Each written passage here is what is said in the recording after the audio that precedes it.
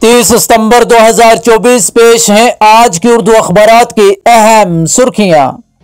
Assembly انتخابات ضابطہ اخلاق کی خلاف ورزی پر تیئیس سرکاری ملازمین معطل۔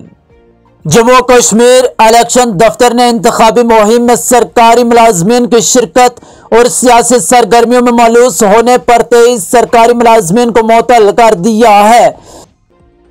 سائبر پولیس کشمیر نے سوشل میڈیا پر فرقہ ورانہ اور اشتعال انگیز پوسٹرز میں تشویشناک اضافے کا نوٹس لیا ہے، جو وادی میں فرقہ ورانہ ہم آہنگی کے لیے سنگین خطرہ ہے۔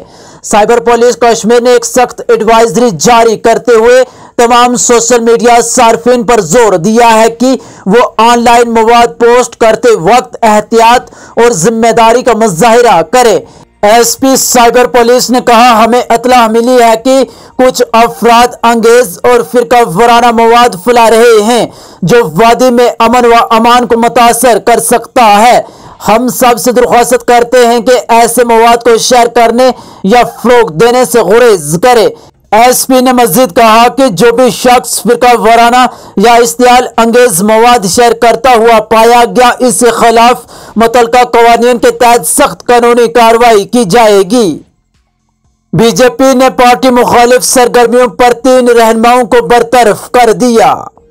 کہا، جموں کشمیر میں اگلی حکومت این سی کانگریس اتحاد کی ہوگی، عمر عبداللہ۔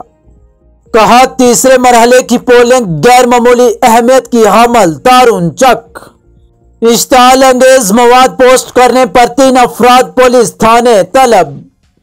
ضلع پولیس سری نگر نے سوشل میڈیا پر فرقہ ورانہ اور اشتعال انگیز مواد پوسٹ کرنے کی پائیداش میں تین افراد کو پولیس تھانے پر طلب کیا ہے۔ سری نگر پولیس نے ایکس پر لکھا، سوشل میڈیا پر فرقہ ورانہ اور اشتعال انگیز مواد پوسٹ کرنے کا سخت نوٹس لیتے ہوئے پولیس نے تین افراد کو پوچھ کوچ کی خاطر طلب کیا ہے۔ انہوں نے کہا کہ ملوثین کے خلاف مناسب قانونی کاروائی عمل میں لائی جائے گی۔